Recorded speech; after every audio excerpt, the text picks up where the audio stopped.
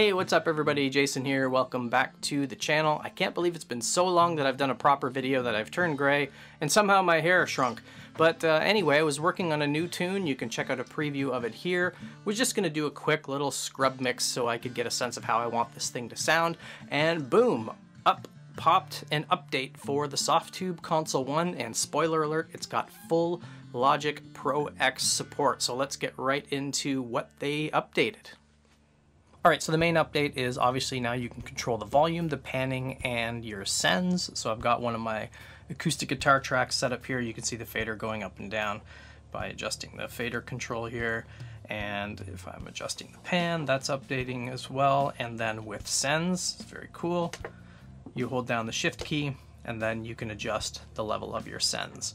Um, now there's only three knobs on the console one, so you can only control up to three sends. I don't think that's going to be a big problem, at least not for me, because I typically only use mm, three, sometimes four in an extreme case, but it's pretty much delay, reverb, and a parallel compressor that I use for my sends. So updating that is pretty neat, and then also you notice the color coding here is updated. So it used to just be all uh, one color now, but now it does match the color of whatever you've got set up in your DAW, which is pretty cool. So if you switch between all of these different things, they're going to match the colors that you have down um, in your uh, whatever you set up inside of Logic, which is very cool.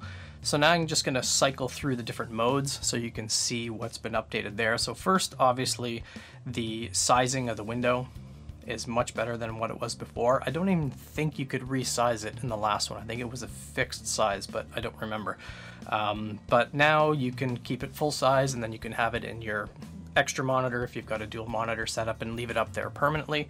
That might just save you from toggling the display on or off, which is not that big of a deal. So this is the main mode that I do my work in. So I've got my charts here up at the top. It's going to tell you what plugins you have loaded. Same as before.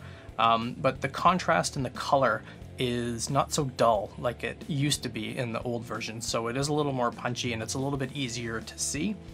Another mode you can switch to is the channel strip mode. So I don't really remember using this mode a lot when I was doing it because it didn't have those three features that they've added for Logic. So you still you're going to get all of your channel strips that you've got loaded across here at the top and all of these things that you can see here that are highlighted in brighter colors, those are all controllable. So again, your volume, up and down, your pan. If I switch to a track that has sends, you can see your sends adjusting there as well. Your EQ, whatever EQ curve you have loaded in there, you can adjust that here as well. So this is going to be really handy when you get into final mix mode and you just want to make some final tweaks. Um, the other modes, there's two compact modes now.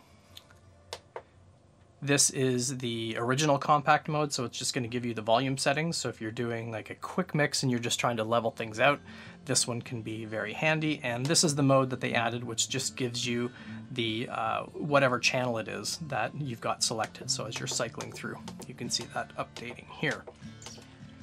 Um, the last update that is actually very handy is you don't need to put the console one plugin on a channel strip, or sorry, on a track to just control the basic DAW features, which is cool. So if I switch to a track, let's go with uh, this track 10. I have I don't have the console one plugin loaded here, but I can control the basic functions. So I can control the volume, the panning, and I can control the sends without having to put the plugin on there, which is pretty neat. The only problem that I found so far in about a day's worth of testing is using the console one plugin in dual mono mode. So what I've got set up here is I've got um, my acoustic guitar tracks are running into a track stack in Logic. So this is basically a summing bus and I've got all of those summing buses that are outputting to one acoustic guitar track. And this is just so I can get some consistency and smoothness and compression and volume and everything for all of the different guitar tracks. And typically I use mid-side processing a lot and in the old console one, this one does the same thing. If you put it in dual mono mode, it's going to ask you to set the track name. And then the track name that you set will show up when you open up your on-screen display. So it doesn't matter if you're using stereo or mono, it's going to ask you to set two different tracks here. So if I go into mid-side mode click on mid, it's going to ask me to set the track name. I'm just going to call this acoustic guitar mid and then side. I'm to set this and I'm to call this acoustic guitar side. Now when I pop up the display, I've only got still the one track here, the acoustic guitar bus track, which is not so good. So if I switch this to stereo, and I don't switch the channels, now when I go here, now you can see I've got everything back again. So I can uh, do, do whatever adjustments I want with the console one. If I flip this back to dual mono, it's gone. It disappears. There's nothing I can do to do that. And I haven't been able to find a setting that allows me to do it. So even if I open up this here and I want to set the track name, let's try it again, track one. And let's set this again, let's call this track two. I don't have the two different tracks in here. You can't click on this down here to separate them. Um, this little splash screen stays there.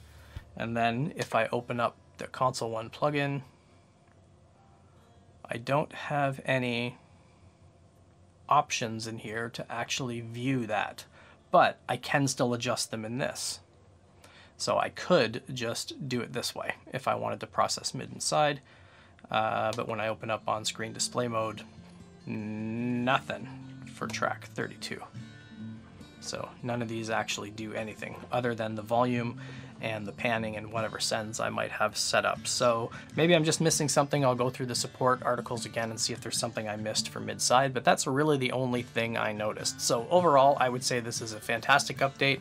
One, and this is really the big one, you can spend all of your time in the console one now. You don't have to flip back between your DAW. And for me, this actually would negate having to get a FaderPort or the fader one or whatever's the other um, Softube option on there because now that I can control the volumes and pans and I've got a good display mode that lets me be able to level these things, I don't really see a need for that for my specific use case. So that's going to save me 750 bucks to be able to spend that money on something else ideally like a new monitor because as I was filming this, my right KRK monitor decided it just didn't want to work anymore. So that one really keeps you in console one, which is great. The nice little updates with the interface, so showing the uh, whatever colors you have set up on your tracks just makes it easier to kind of visually see and cycle through. And especially not having to put the plugin on one of your tracks if you just want to control the volume and the panning and the sends. So I think this is a really great update. It's much faster, it's much snappier, and I so far have not had the problem of a track just disappearing in the console one. So sometimes you have to go up here and you have to hit this reset the uh, on-screen display because it will just get unsynchronized for some reason. So you'll switch between tracks on the hardware itself and nothing will change in your DAW. I haven't noticed any of that. This is a pretty small project so far, so what, there's 30, 34 tracks in total on this one. I might have maybe two or three more. All right, so just to sum it up, this is an awesome update. So the switch to metal from OpenGL makes the interface much better. So the contrast is better, it looks nicer, the nice touch that they added of synchronizing the colors of the tracks is pretty handy, plus being able to resize it is pretty cool. But obviously the big three, volume, panning, and sends means, for me at least, I don't need to buy a Fader 1 because that would really be the only reason. Before this update, what I was doing is I was just adjusting the input and the output gain on the console one, but now that I can control the volume and I can control the panning, um, it's such an awesome update. So hope you enjoyed this video and remember to hit like and subscribe and I'll see you next time.